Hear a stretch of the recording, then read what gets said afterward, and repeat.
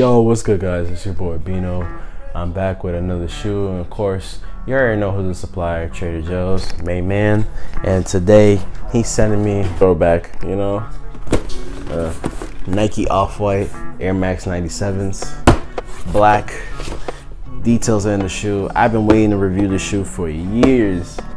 Ever since this shoe came out, this pair came out, I always wanted to get it but knowing me, when you're when you're young and you're reckless with bread, this pair was making me go insane just to get this. This shoe was making me insane to get this. And now since I have it, I'm happy I got it.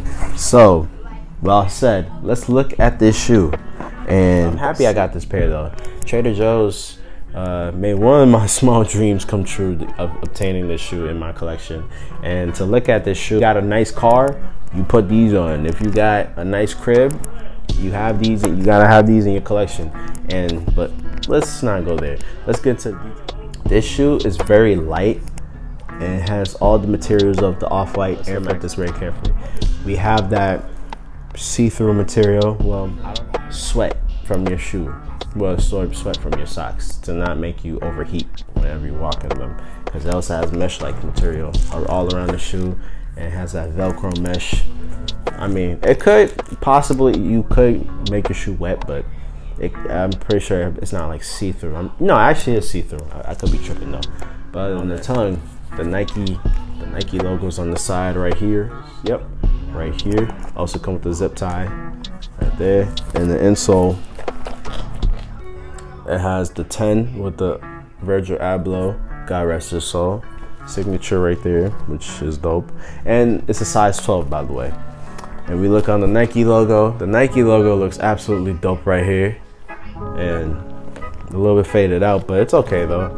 On this side right here, has all the information where Nike come from, where the factory is, and this, that, the third. Now Air Maxes came out came out in '97, so that's like three years.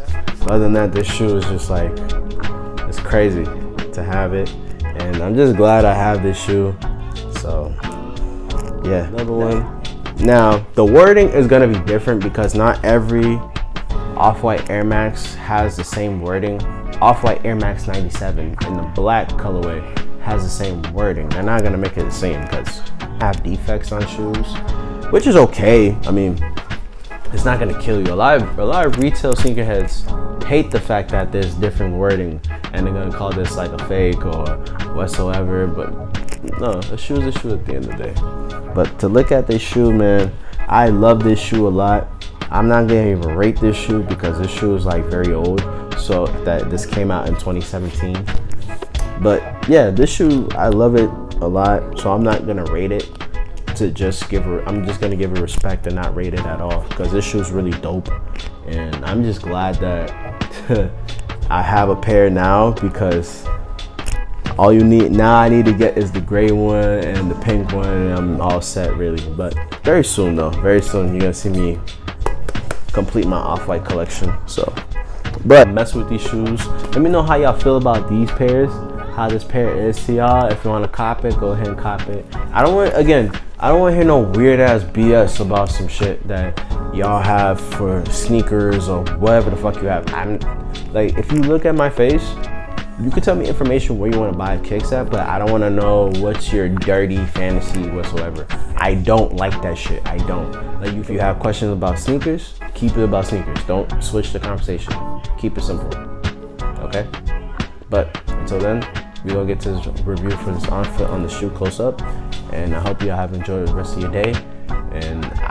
Hope y'all know exactly who y'all gonna root for in Super Bowl, either the Chiefs or the Eagles. I don't know who.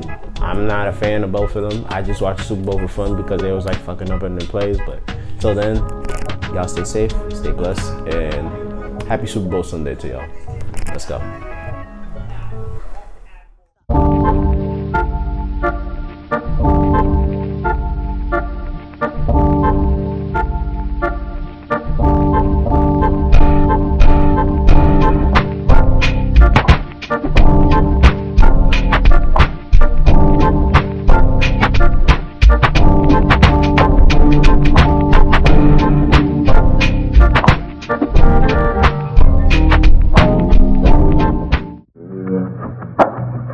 Show.